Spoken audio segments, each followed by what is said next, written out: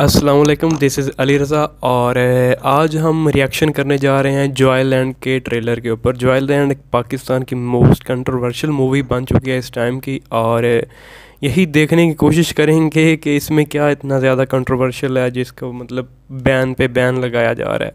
मतलब sensor board ban हटाता है और जो आवाम है वो चाहती है कि हम ये फ़िल्म देखें ही नहीं।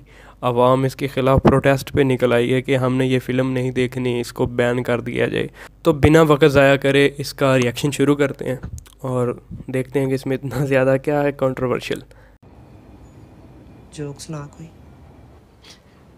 एक मच्छर ਨੂੰ ਮੁਰਗੀ ਨਾਲ ਪਿਆਰ ਹੋ ਗਿਆ ਮੱਛਰ ਤੇ ਮੁਰਗੀ ਨੇ ਪੱਪੀ ਕੀਤੀ ਤੇ ਮੱਛਰ ਬਰਡ ਫਲੂ ਤੋਂ ਮਰ ਗਿਆ ਤੇ ਮੁਰਗੀ ਡੰਗੀ ਤੋਂ ਪੁੱਛ ਕਿਉਂ क्यों क्योंकि मोहब्बत का अंजाम मौत है अच्छा नहीं लगा? बिल्कुल नहीं।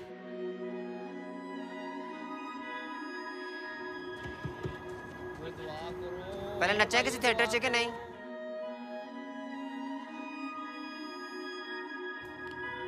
कम की। थिएटर मैनेजर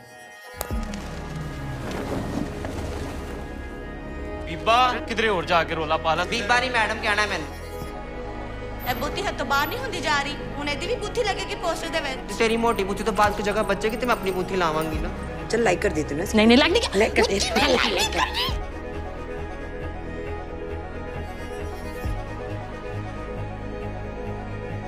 इधर या अल्लाह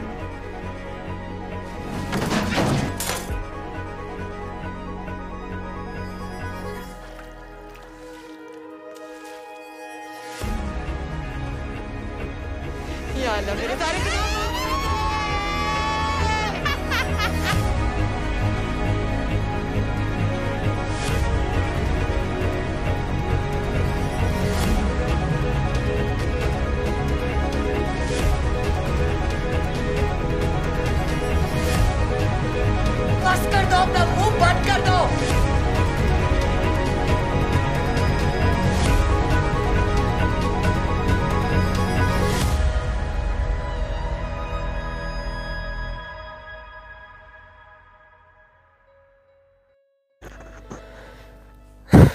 तो यार अभी अभी मैंने ट्रेलर देखा जॉयलैंड का और टू बी ऑनेस्ट मुझे तो इसमें कुछ भी जो है ना, वो कंट्रोवर्शियल नहीं लगा और ऑल दो मुझे इसकी जो टेक्निकलिटीज़ हैं, वो मुझे काफ़ी ज़्यादा पसंद आई, काफ़ी ज़्यादा अच्छी मूवी जो है ना, वो बनाएगी और मतलब लगता है कि सिनेमैटिक मूवी हम देख रहे हैं, कोई ऐसा ड्रामा वगैरह नहीं देख रहे हॉलीवुड लेवल की।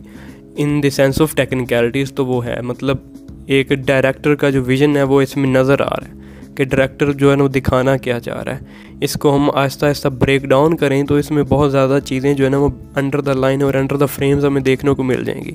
मतलब सबसे बड़ी बात तो इसका जो डायरेक्टर ने जो एस्पेक्ट रेशो चूज़ किया है, वही मतलब कि बहुत ज़्यादा चीज़ें जो है बयान कर देता है। फिर इसके अलावा यार मैं इसकी कंट्रोवर्सी के बारे में जो है ना डॉन न्यूज़ का एक आर्टिकल पढ़ रहा था तो उसमें भी बताया गया कि जिस चीज़ को लेकर इसकी बहुत ज़्यादा कंट्रोवर्सी दिखाई जा रही है या बनाई जा रही है तो वो इस मूवी का कोर थीम भी नहीं है कोर एलिमेंट भी नहीं है। ऑल वो इस मूवी का जो थीम है स्टोरी है, उसको सर्व करता है, लेकिन वो चीज़, जो रिलेशन जो दिखाया गया, वो इस मूवी का मेन थीम नहीं है। इसमें हमें पैट्रियार्कल सोसाइटी दिखाई गई है इसका जो एस्पेक्ट रेशो है, वो हमें एक इनसाइड द बॉक्स जो फील हमें इस सोसाइटी में रह कर आती है, वो दिखाता है। तो यार, मुझे तो इसमें कुछ ऐसा कंट्रोवर्शियल नहीं लगा ऑल मुझे इसके बाकी काफ़ी ज़्यादा चीज़ें जो ना पसंद आई मतलब शॉर्ट डिज़ाइन बहुत ज़्यादा पसंद आया। बैकग्राउंड म्यूज़िक बहुत ज़्यादा अच्छा था। इसके डायलॉग्स वगैरह काफ़ी ज़्यादा अच्छे थे, काफ़ी रिलेटेबल थे। सोसाइटी की जो डिपिक्शन है इस मूवी में, वो मुझे काफ़ी ज़्यादा पसंद आई है। और यार आर्ट जो होती है और मूवी जो होती है, वो हमेशा एक सोसाइटी की अकास होती है। सोसाइटी में जो चल रहा है, उसी की अकासी करी जाती है।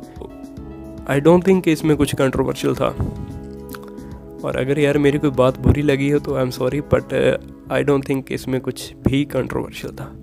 अगर इसका रिव्यू चाहिए तो यार मुझे कमेंट्स में बताओ। और बाकी यार, मैं मिलूँगा आपसे अगली वीडियो में। तब तक के लिए अल्लाह हाफ़िज़, पाकिस्तान, जिंदाबाद।